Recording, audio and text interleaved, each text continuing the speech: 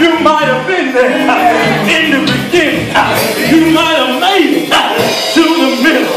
But I dropped out to let somebody know God ain't through writing out the script.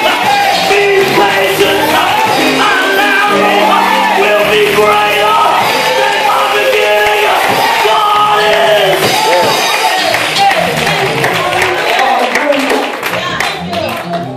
Turn my story around. I want to address three quick points I'm going to leave you.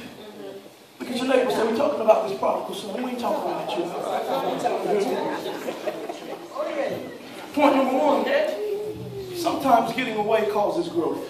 All right. All right now. That's right. Sometimes getting away causes growth.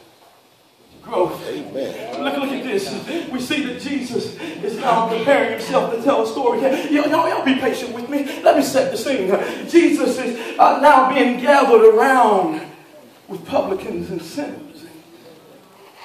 The Pharisees and the scribes, they're looking on. They're saying, what type of man is this that cohabitates uh, with sinners? Is, is there anybody in here uh, where folk literally look down their nose uh, because of the people that you surrounded maybe yourself by? Uh, because maybe you were around some folks. Uh, come on, somebody. Might have had their pants hanging down uh, a little bit. Uh, and you were gathered around them uh, telling the goodness of Jesus. Uh, but folk begin uh, to pick out who you were uh, because of who you were surrounded by. My father had a saying. He says, we're often judged. Come keep. Come on. Oh, you act like you had the same. Your father must have went to school with my dad. Oh, we're judged by the company that we keep.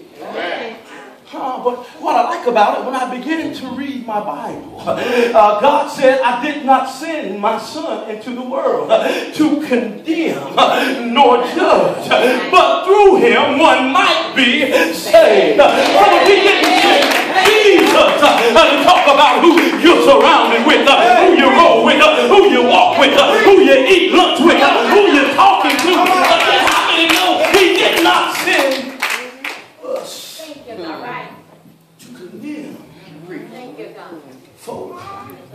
Quiet is kept. Truth be told, if it had not been for my environment, I would where I am today. Thank you for helping me. I know one that give me an amen.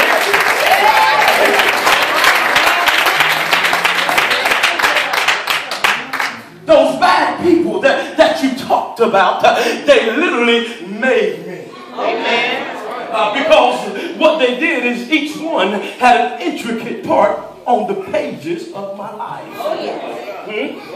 Uh, I learned some things, uh, even from those people that we categorize uh, as bad folk. Uh, I learned some good things uh, from those that we said were bad folk. Uh, and I also learned some things not to do from bad folk. How many know that all things work together for